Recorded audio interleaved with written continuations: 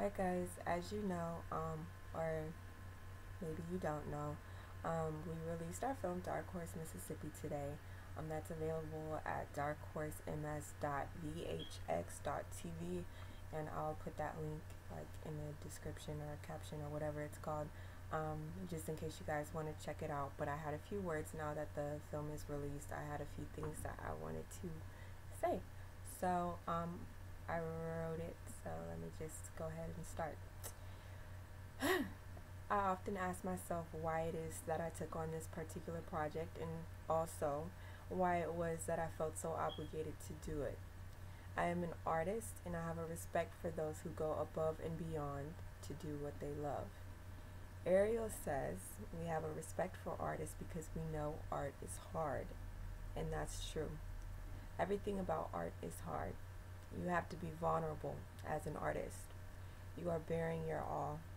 And when we bare things that are most private to us, it hurts us when we're not appreciated. The Dark Horse Mississippi Project was created in order to open doors.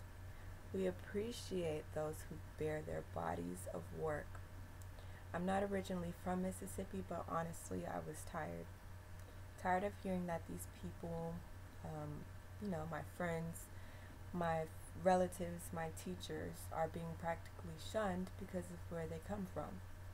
Nothing in the media about Mississippi is ever good, so it's easy to judge the state as a whole. But anyone who has ever been judged before having a chance to even show who they truly are knows just how irritating that can be. I'm just one person, and so is Ariel, and so is Jonathan but we were and still are determined to do our part. We were offered things regarding this project that were taken away from us at the blink of an eye, but honestly, it's okay because the film is finished. Thank you to those who have bought the film today, made generous donations, or just had any kind words.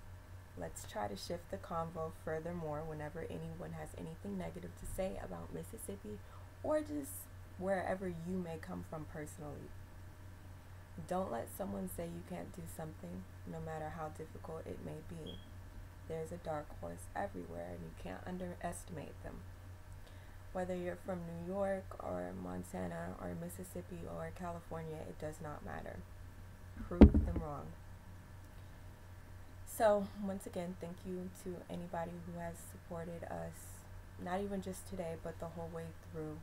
Um, your support is really what kept us going. We knew that we really wanted this for the state as a whole, not just ourselves. So it was something that we couldn't really just give up on. And it was something that we couldn't really just turn our backs on. Um, so we just ask that you guys do your part of just sharing the film with people because we did put a lot of work into it. Um, we didn't have that much money to film it, but we were able to road trip across an entire state and film about eight or nine different artists' stories. Um, actually, it's more than that because there's a lot more people included in the film than um, initially intended, but it's great. It just made the film even better. So, um, like I said, we didn't have a whole lot of money, but we made it work and I'm personally very happy and pleased with the project as a whole and I'm just happy and excited to see um, what you know what happens in the future. We are interested in casting for more um, projects. We're going to be uh, announcing that later in the year, maybe summer, fall, um, via our Twitter account, which is at sign Dark Horse Mississippi, and also our website, our Tumblr page, but it's our website, darkhorsedocu.com. So if you have any questions, concern, or just feedback about the film, um, feel free to message me and Ariel at uh, darkhorsemsfilm at gmail.com. Once again, thanks, thanks you guys. Um, also, like I said, I just really, really want to stress that no matter how difficult things may get, there's always a way. Um, you just have to have faith no matter what. Don't ever lose your faith and always go back to the drawing board. Don't quit. Go back to the drawing board. All right. Good night, you guys.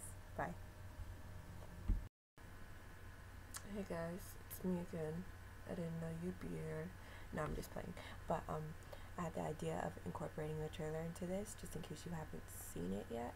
Um, so here it is, my trailer for Dark Horse, Mississippi. Um, by the way, um, never mind. Bye. What type of stereotypes have you all heard um, other people have to say about Mississippi? About Mississippi? Yeah. They're stupid. Everybody's fat. They're fat. Shoeless. Uh, there's a stupid, ignorant. uneducated, fat. we lack substance or something. Yeah. The parts of Mississippi they show on y'all show y'all on TV, they gonna find the most desolate part. They gonna go to Chuckalunga County with a population of 40. I don't even know what that is. There's been a hand over Mississippi's mouth for way too long, and we've just been stereotyped.